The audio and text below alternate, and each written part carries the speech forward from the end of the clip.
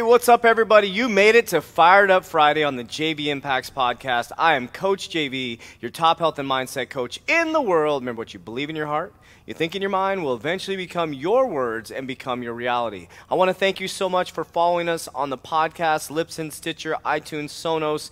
Uh, wherever you consume your podcast. But remember, we have our YouTube channel that I'm doing it live right now where you can go to 3T Fitness on YouTube. You can see my face click on it and you can actually see me doing this live with the board here. So live, I guess it's recorded, it's on YouTube. But like, subscribe, check it out. We get to build a relationship, I can see you, and we can rock and roll. Just let you guys know, we are literally, what, how many days? We are 14 days away from launching our online platform where you can join. You go through a 12 week body transformation, live workouts, on demand videos, mindset coaching. Get a free copy of my book, and it's going to continue to evolve because human optimization is one of the most important things we do here at 3T Fitness, and we're going to bring this to you. It's a revolutionary program, never been done before in the world, and you're going to be able to join it live. So if you've been on my podcast for a long time, you're going to be able to coach with me personally, and there's going to be advanced programs where you can do some more coaching with Coach JV if you want a more personal touch to your coaching. But imagine going on a platform where you can go through all the things that I talk about in my podcast, and you can go step by step through the program, constant mindset coaching, getting your mind right before you take flight. Let's see what else is going on. Today is Fired Up Friday. Remember, second most important day of the week because Monday, everybody's sleepy, everybody's tired, they're bitching and complaining. Fridays, that's when you can separate yourself because you're productive. And on Fridays, at 12 o'clock today, everybody's going to let their foot off the gas because they're going to get ready for happy hour. They're going to get ready for the weekends. But I want to let you know happy hour and the weekends are still going to be there. Hit the pedal to the metal, be productive, and you don't have to compete against anybody else. You just cooperate, be the best human being you can be, and you kick everybody's butt. That's all you got to do. Uh, if it's your first time on the podcast, I want to say welcome to JV Impacts Podcast. If you sent this podcast, somebody else I want to say thank you for helping us fulfill our mission. I just dropped my pen and impacting lives every single day. this is live, ready to rock and roll. All right, today you came here to get inspired, you came here to get motivated, and today I'm going to tell you three things. Three things that you can do to get promoted. I know you're listening to this because you want to get promoted, don't you? Well, you say you want to get promoted, but are you willing to put in the work? I want you to answer that question right now. I'm going to pause for a moment. Are you willing to put in the work? Oh, you say yes, Coach JV? All right, let's break it down. Let's go through the three things you can do to almost guarantee to get promoted if you're in the right company. All right, so check this out. So, three things. Number one, number one thing you can do to get promoted do more than asked of you. You know how many people are going to be able to do this? Probably hardly any. Because most people don't want to do the more than asked. There's a, that's not in my job description. I used to hear that all the time when I was in corporate America. It used to make my skin crawl. That's not in my job description. What the heck does that mean?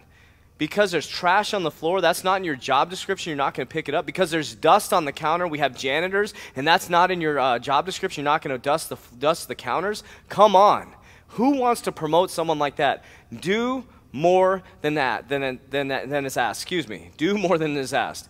Here's the beauty behind that. When you do more than is asked, you become more valuable as a team member or employee or a entrepreneur. When you're doing more for your customers than you're asked, do you think your value goes up? Do you think when you raise your prices, they're going to question you? Do you think when you go for a raise, you're going to be questioned because you do more than it's asked? Because you come in early when they ask you to? When there's a volunteer event, you're there? When you see trash on the floor, you pick it up? You don't think people are watching you?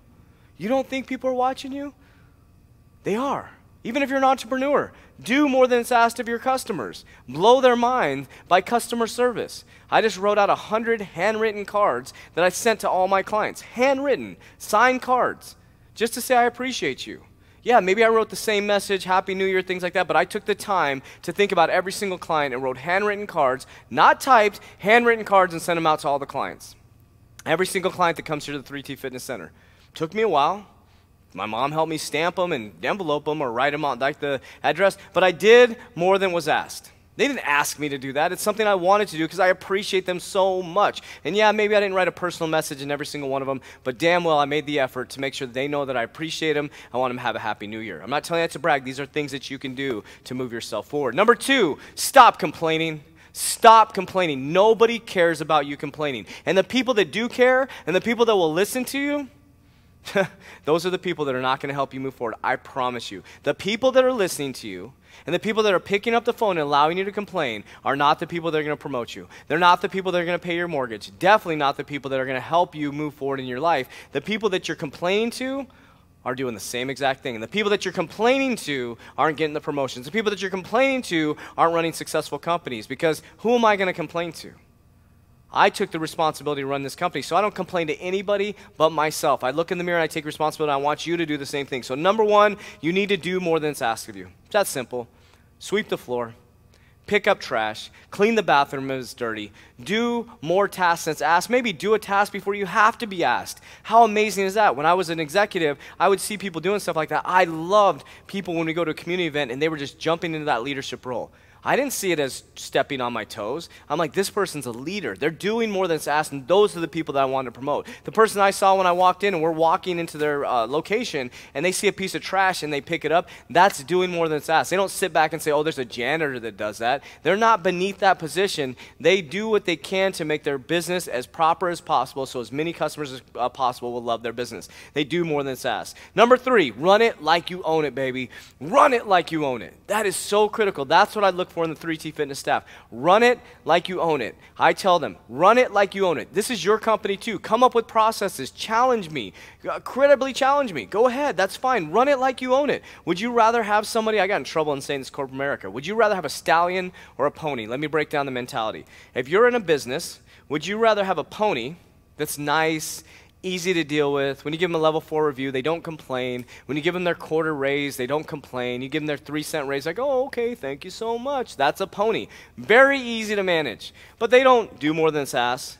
They complain all the time. Or would you rather have a stallion? Would you rather have a stallion that literally works their butt off, that never complains? When other people are complaining, they're grinding.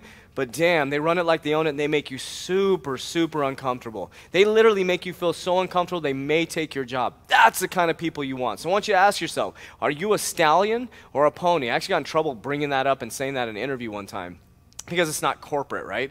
But I, I think of that. Do I want a stallion working on my 3T fitness team or a pony that I have to whip every single? Come on, can you make your dials? Can you reach out to those customers? Do you want a stallion that's like, Coach JV, I want to run one of these facilities today, and guess what? I could be a better CEO than you. I would love that. I would love that because guess what? I'm the CEO.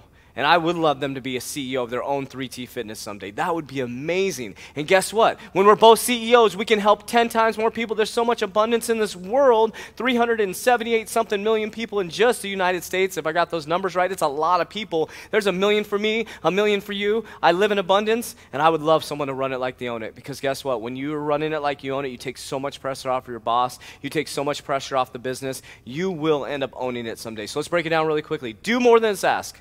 And this is in a relationship too. Stop complaining. Nobody cares, and the people that care can't help you.